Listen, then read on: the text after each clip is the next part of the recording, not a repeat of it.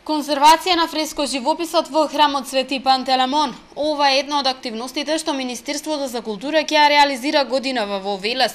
Средствата за реализација се обезбедени преку годишната програма за работа на Министерството. Според министерката Канчевска Милевска, во теки изработка на проект за заштита на архитектурата на црквата. Уште еден значаен проект овде во Велес, кој што ќе се најде сега во новата годишна програма, а тоа е црквата Свети Пантелемон значи ќе се врши, ќе се изработи проект во делот на архитектурата и ќе се врши конзервација на фреско живописот. Тоа се вака два значајни проекти кои што ќе бидат се разбира одобрени за овој овај, оваа значајна црква Свети Пантелемон, а континуирано морам да кажам се одобруваат проекти на локалната институција, на музеот овде во Велес, така да директорката може и подетално да ви информира за нешто што е завршено, нешто што ќе продолжи во и следната година.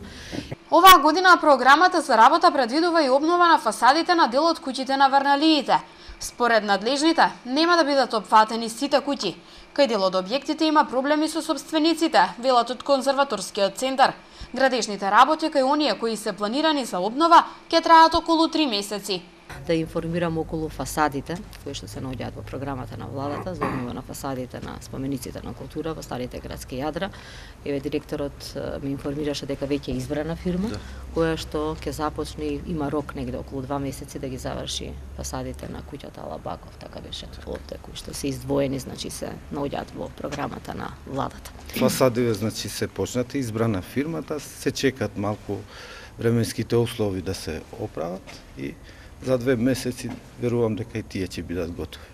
Деновиве Министерството за култура ја објави програмата за работа за 2016-та. Истата опфаќа поддршка на низа културни збиднувања, како фестивалот на античка драма Стоби, колонијата во Прадишки мајстори и интернационалниот фолклорен фестивал.